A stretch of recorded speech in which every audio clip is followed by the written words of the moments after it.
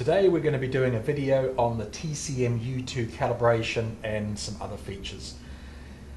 First thing is talking about the probe. This is a 50N probe and 50N means that there is about 12 and a half pounds of force of load required on the probe itself to activate it and give the correct reading. So on a screw what we call the puck off the end of the device and this has a spring inside it so when you press down there is a resistance to that spring. But the second and more important thing is that on the diamond tip uh, this sticks out about a sixteenth of an inch. When you are doing a test it will contact the part and if I show you here in fact under measuring if I just sit it on the part you can see here that it's trying to do a test but it's just sitting here. And it won't give an accurate reading what's happening is that the device is recognizing that the tip is touching the part and so it turns on the actuator inside to start the vibration but we haven't applied the correct load. So what you've got to do is to put the probe on the part and immediately press down to give the accurate uh, value. Now there's nothing displayed because I haven't got this calibrated but so it's a two-step process. So when you press down you will see that the movement of the this is with the, the diamond tip sitting, you have to complete the press down so that now the face of the puck is bottoming out on the part being tested, as you can see. So with the puck attached, and you can see there was 12 and a half pounds of force, you know, there is some effort required to do this to apply that load. I'll screw the puck back on again. Another feature of the puck is we can screw this side off, which is for flat surfaces, and there is a, a rigid rubber base to it so it makes nice contact. I'll just screw this end here off. And this can be reversed and what there is is two grooves cut into this V groove so a larger V groove for a larger diameter. So now it would be sitting nice and perpendicular on that part and then a smaller V groove. So this can be reversed and screwed on. So whilst we're talking about this kind of UCI or ultrasonic puck we'll look at the 10N probe. Just screw this back on again. I won't attach it to the device but it looks exactly the same as a 50N. The difference is when the puck is screwed off, this requires about two and a half pounds of force. So sitting on the part, I can very lightly and quite easily just press down with this because it requires very little effort. The same thing still applies with the, the puck attached. It doesn't have to be, you could actually do it without this in a free form way. There is the resistance in the spring, press down, and then the secondary resistance must be taken up, which is in the diamond tip and the probe um, you know, vibrating rod pushing up inside the body. The third kind of probe we have is a D-type probe, and this extends the use of this tester. This is a rebound type uh, probe, where inside of the device is a thing we call the impact body, this is grabbed by grippers inside, it's fired at the part, and it bounces off. The acceleration off the part is measured by a coil inside of here, and uh, it is primarily used for non-ferrous materials. You can do steels, but much thicker steels than can be done with an ultrasonic tester. Uh, cast irons that can't be done with a, a, an ultrasonic tester, ideal for this uh, kind of probe that plugs directly into this device as an option. So let's look at doing calibration. I'm just going to back out of this. We go to the calibration, whoops, down, and I hit the select key. Right now you can see here that I have HRC, HB, HV, U1, which is a, user definable um, hardness scale, and then across here we have uh, the different kinds of materials. This ST is just for steel. This would be alloy steel, stainless steel, and then two user-definable ones. So you could make this one here, for example, titanium, and then the U1 for some other very exotic material as well. So there's no calibration stored in the device right now, so the little box is grey uh, with the, the outline just shown. If I hit the select key, it takes me here to the menu choice, and I want to hit edit because I want to define the calibrations. Um, and by default, when the calibrations are set up, it will show 200, 500, and 700 just as values. Um, this code on the right hand side is the, a number that is stored inside the probe that varies depending on the probe type uh, that we're going to then calibrate the unit to. So looking at the different um, test pieces that we have here, this first one is uh, HRC test block. It's 23.17 and on the side of the block it shows the, the number.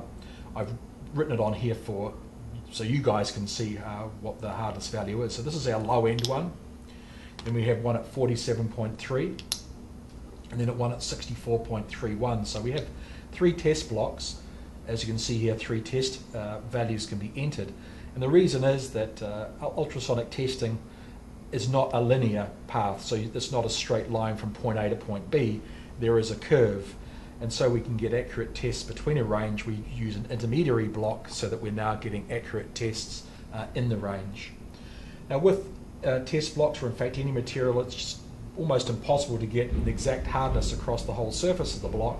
So each block has a tolerance on it, and this tolerance on this block here is 1 HRC.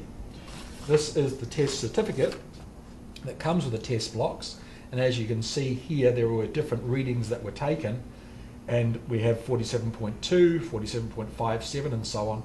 So the range of hardness uh, measured across this little test block on a very expensive bench tester is 1. So there's a tolerance of 1 in the block itself. so to set this up, we're going to go with the softest test block first. It doesn't really make any difference so long as you either have the hardest first and the softest last, um, or vice versa. To set this up, we hit the edit key and we go scroll down to the edit button. And now you can see that the black background has changed and it's got the, uh, the dark blue background has changed and so now the value is shown here as 2. I use the cursor control keys to change the value. So this is now 0. I hit the edit button, it jumps to the next value and I can see this is 23.17 so I want to hit 2, hit the edit button, 3.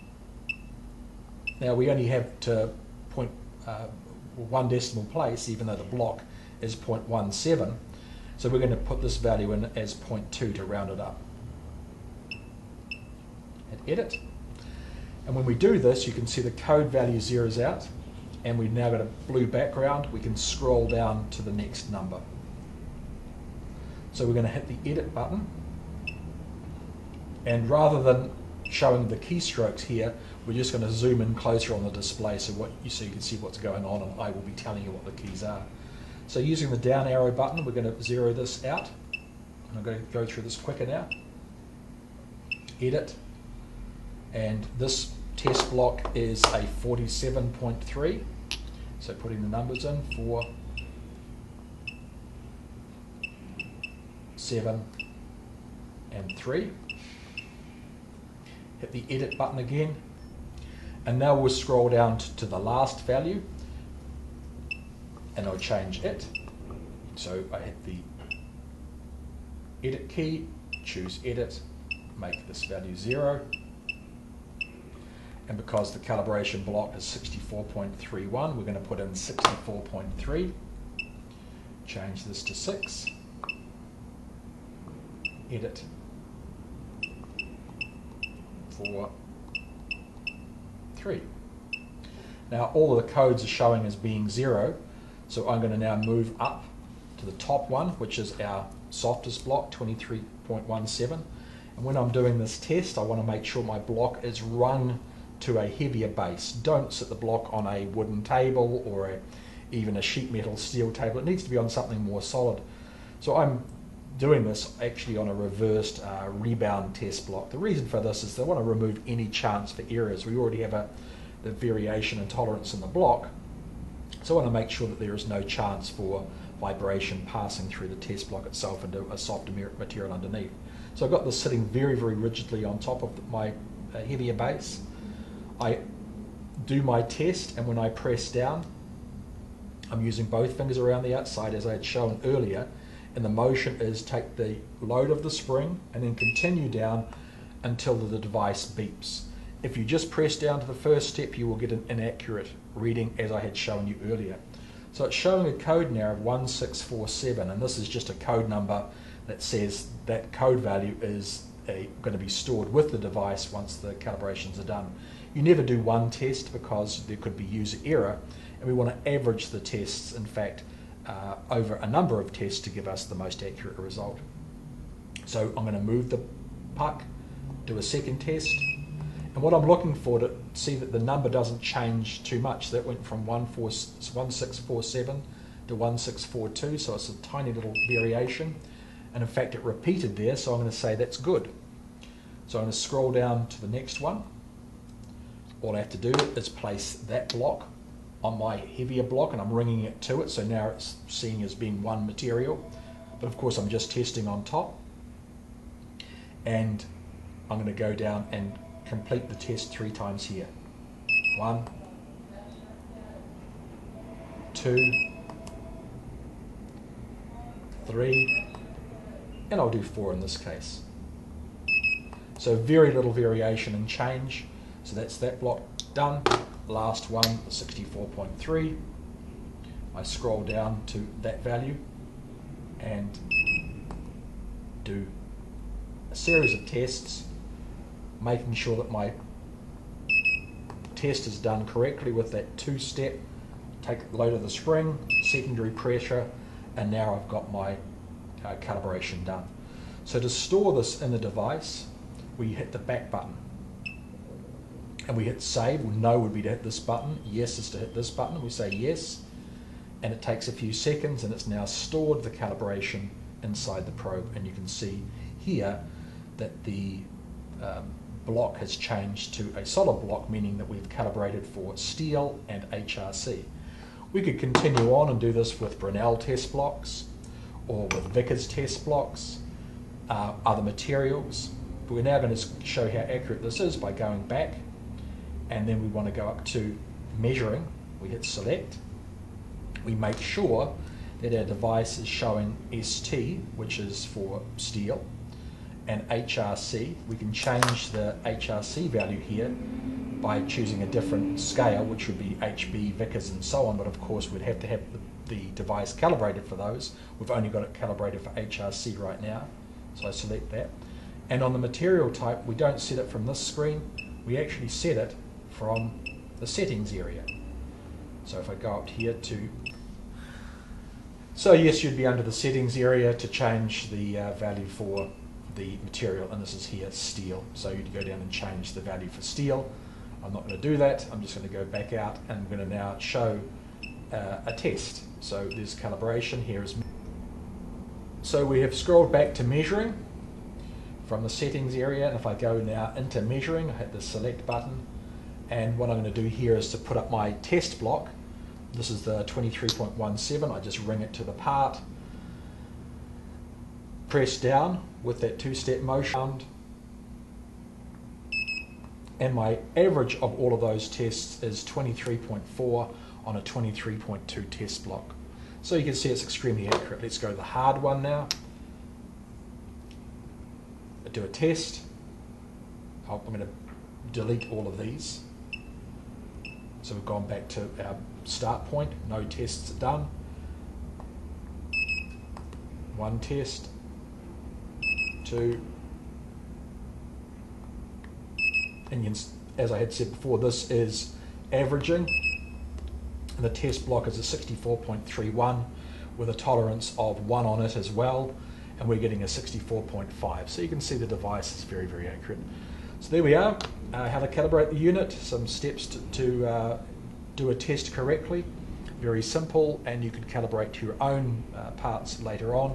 They don't need to be test specimens like this, all you would need is three parts that were of different hardness of your own material, say a stainless steel, and of known hardness, just do the three tests and then you've calibrated the unit. Thank you.